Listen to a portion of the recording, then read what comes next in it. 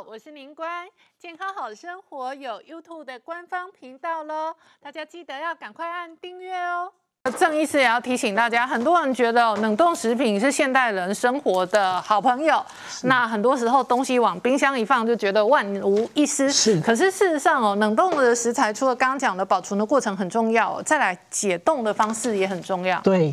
那并不是所有东西放进冰箱或它温度够低就一定是安全的哈。那我就有一个案子啊，我觉得蛮可怕的。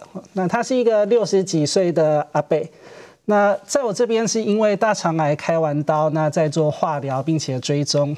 那他有一次送来急诊嘛，就很惊悚，他整个眼睛上吊，那整个人没有意识，非常的可怕。那我一开始也怀疑过会不会是脑部出现转移，造成脑压上升这些症状。可是住院发现他白血球上升，那有一些感染的迹象。那后来帮他抽了脑脊髓液，那发现是一个李斯特菌造成的脑膜炎。好，那他虽然在做了治疗之后，抗生素治疗之后人是变好了，但我们还是很好奇为什么他会得到这样的脑膜炎，所以我们去问他。他说，因为做化疗期间呢，他一直恶心想吐，那合并他嘴巴破了很多洞，那他想吃一些冰淇淋，冰冰凉凉的，保护一下喉咙，所以他就买了一大包、一大盆的冰淇淋，冰在家里面，那慢慢吃。那后来去查，可能就是这样子的作为，让里面的细菌繁殖，那并且造成它的感染。那到底我们的？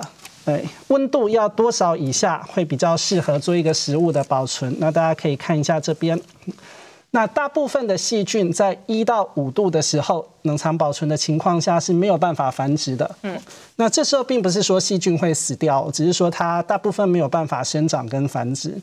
那如果到负十八度以下的话，细菌基本是处于休眠状态的，所以这个时候的食物相对就是可以放比较久，是比较安全的。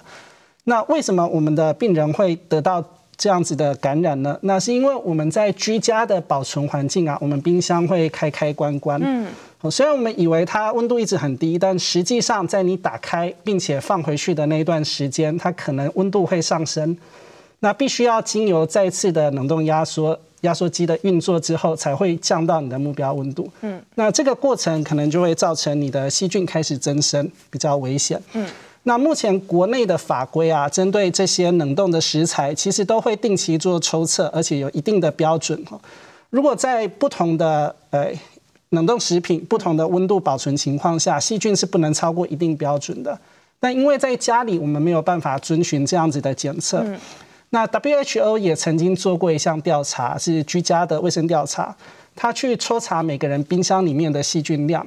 那会发现，几乎有一半的人家里细菌量是超标。郑医师要提醒大家，这一个很多冷冻冷藏的料理食品哦，那固然使用很方便，但是加工的程度哦也要慎选。像呃两位师傅示范的，都是天然食材的冷冻，而不是加工品。是，那加工食品的确有蛮多风险存在的。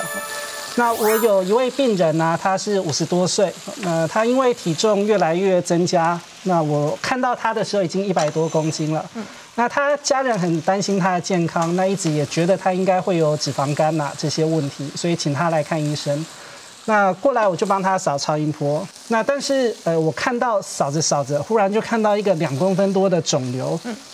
那我也很害怕这个肿瘤会不会有问题。那后来做了切片，证实是肝癌，那也做了治疗。那回问他就是他的生活形态啊，是什么让他脂肪肝那么严重？他说他平常就是过着像呃社畜一样的生活。上班那可能要忙到八九点，所以午餐跟晚餐大部分就是商呃便利超商，嗯，那看有什么加工比较快的东西买来就吃了，嗯，那这些东西是所谓的超加工食品，那对身体会有一些危害。